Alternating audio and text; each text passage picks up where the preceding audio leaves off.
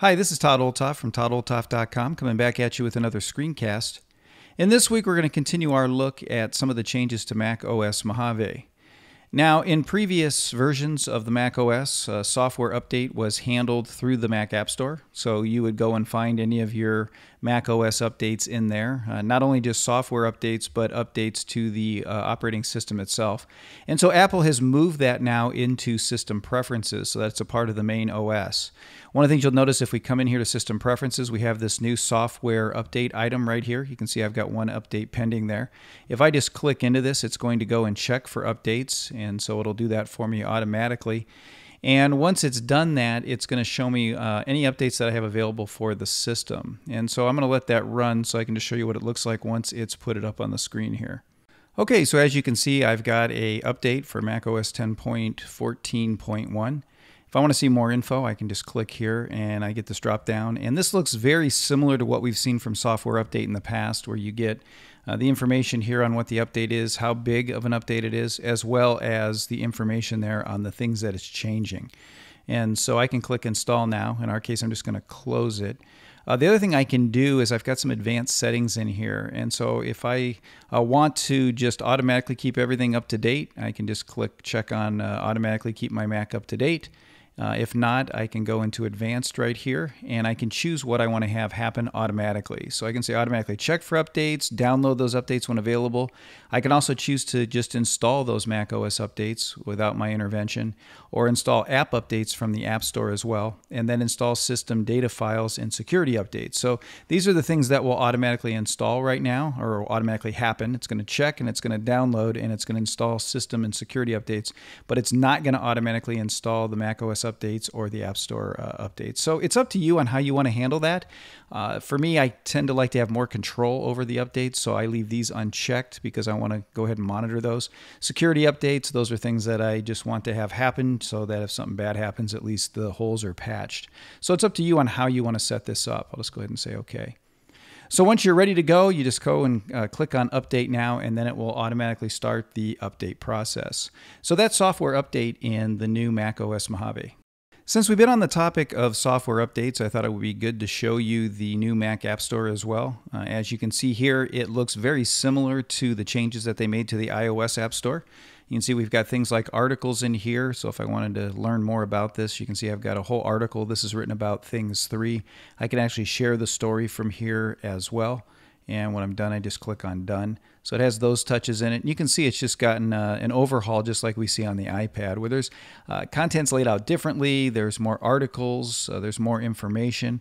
Uh, the other thing you'll notice too is they have more uh, areas over here where it's actually sorted. So we've got things like Discover. We've got an area for Create, one for Work.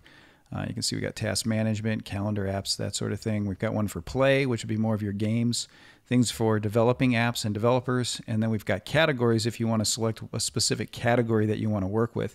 Uh, the other thing too is you'll notice that we've got updates right here, and so even the updates area uh, looks a little different here with uh, the pending apps that need to be updated, those that are recently updated.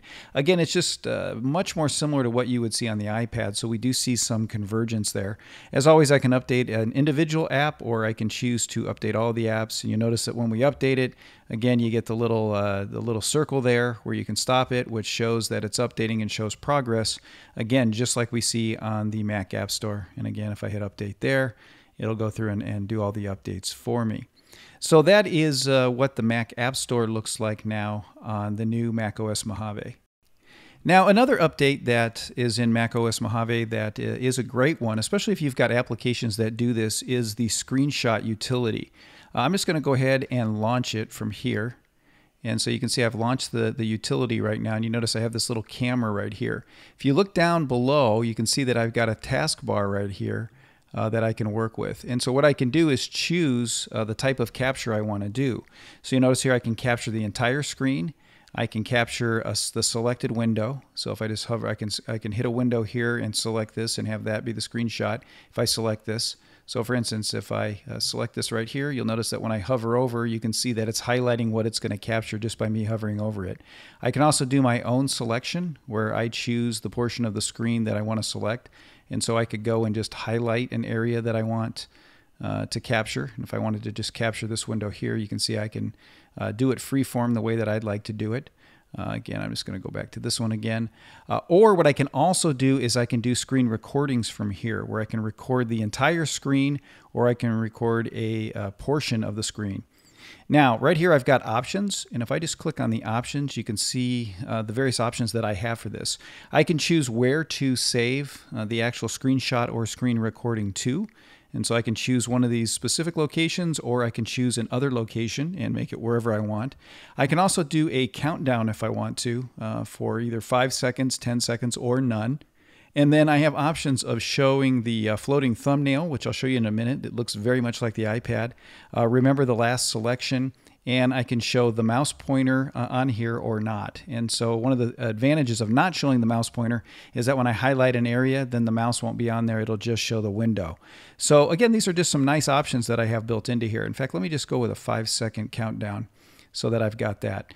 So what I'm going to do is I'm just going to go ahead and capture this window right here. So you see I've highlighted it. So I'm just going to click on it. And so you can see there's a countdown down here. And so it's going to capture it. You can see it's captured it now, and you notice that it's down in the corner of my screen. Now, one of the great things about this is if I just click on it and bring it forward, you'll notice that there's my capture, and I have all of the editing tools up above here. And these are all of the annotation tools that you would find inside of Preview. So I can actually do things like a sketch over it, you know, if I want to select sketch, and uh, there we go, I'm sketching over it. Uh, and you can see that I can change the actual lines and things here as well. So I make the sketch happen, or I can just go like that, and I can hit delete to get rid of it. Um, I've got uh, other options too. I can draw. I can also do shapes on here. I can do text. Uh, I can highlight a, a, selection. I've also got my signatures in here. So if I want to sign something, my signature's in here. I can do things with lines. I can do things with borders. Uh, I've got fonts. And I can even rotate it and crop it as well. So it depends on what I want to do with it.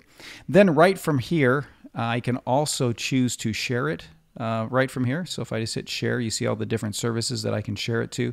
And I can also trash it from here or say done or revert. Now let's go ahead and demonstrate how the recording feature works. So the same kind of thing, I just double click on screenshot. We're going to come down here and I'm just going to select record area, which is right here. And as soon as I'm ready, I just go ahead and click on record and you can see that down here I'm going to get a countdown. I can cancel just by hovering over that. And so now I'm recording, and so I'm going to make the cursor big. We'll do a little motion with it. Uh, that looks good. And then to stop it, if I just come right up here to the menu bar, I've got a stop button. I just hit stop, and you'll see that now it's over here again on the right-hand side of the screen. If I just click into it, you'll notice that I get a different set of editing options. One of the things I can do is I can play it in here. And so you can see there's my cursor doing its thing right there. Let's go ahead and pause it. Uh, let's go ahead and just put this over this. Uh, the other thing that I can do is I can trim it right from here. So right from this preview here, I can trim it and just you know trim the top, uh, trim the back side to exactly where I want the clip to be. And then all I have to do is say done. Again, I can trash it from here. I can share it from here as well. You can see all the different sharing services.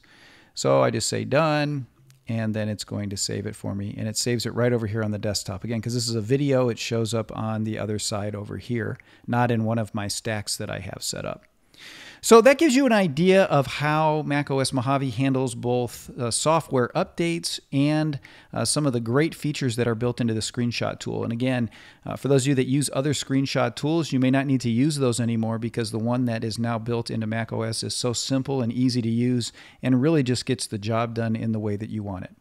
So that's all I have for this week. I'll be back at you next week with another screencast to help you learn how to do more things with your Mac.